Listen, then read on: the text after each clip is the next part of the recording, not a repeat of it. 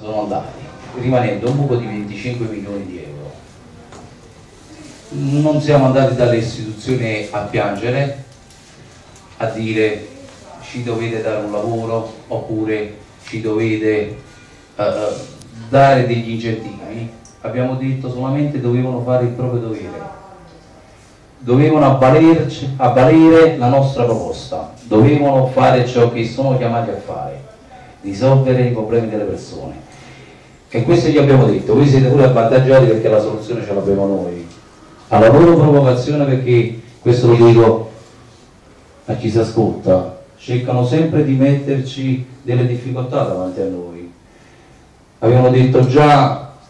è meglio trovare un altro imprenditore in quanto gli imprenditori sono più affidabili. Là stava Luigi Sito e io gli risposi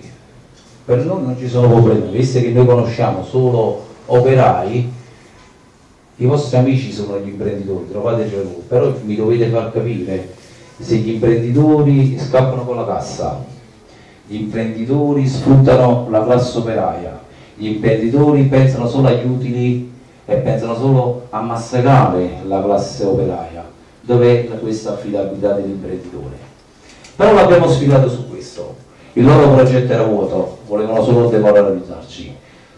A questi siamo stati più forti, sono loro scesi sulle nostre condizioni e hanno dovuto prendere atto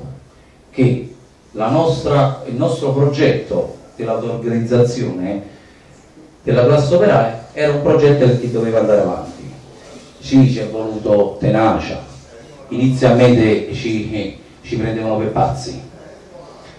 però quei pochi pazzi che siamo partiti, devo dire, eh, ad onore di verità,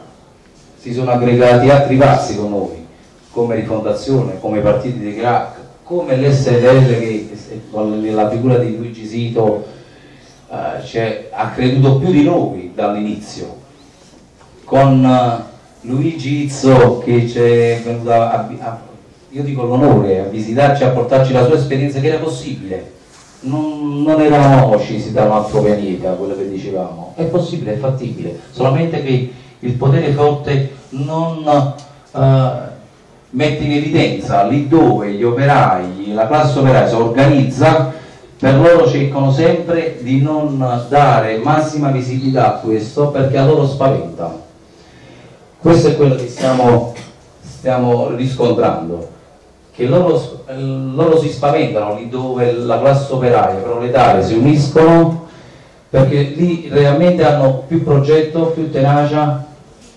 e più trasparenza e anche più onestà rispetto ai padroni e riescono ad abbattere qualsiasi tipo di, di muro che loro mettono.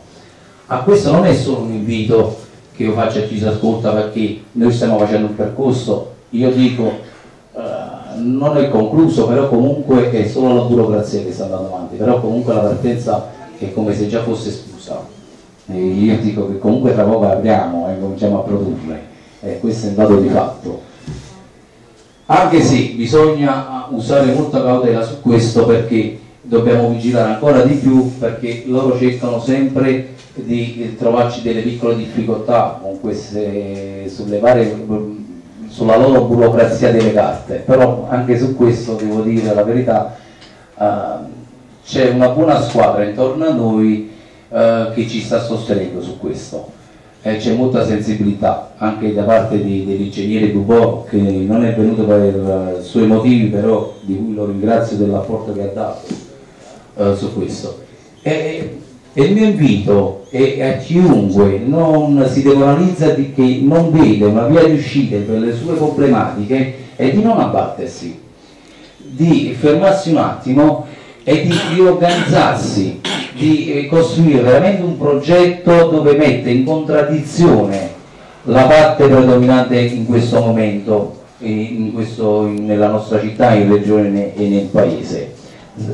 la, la, la parte predominante sarebbe questa borghesia e questo manipolo di persone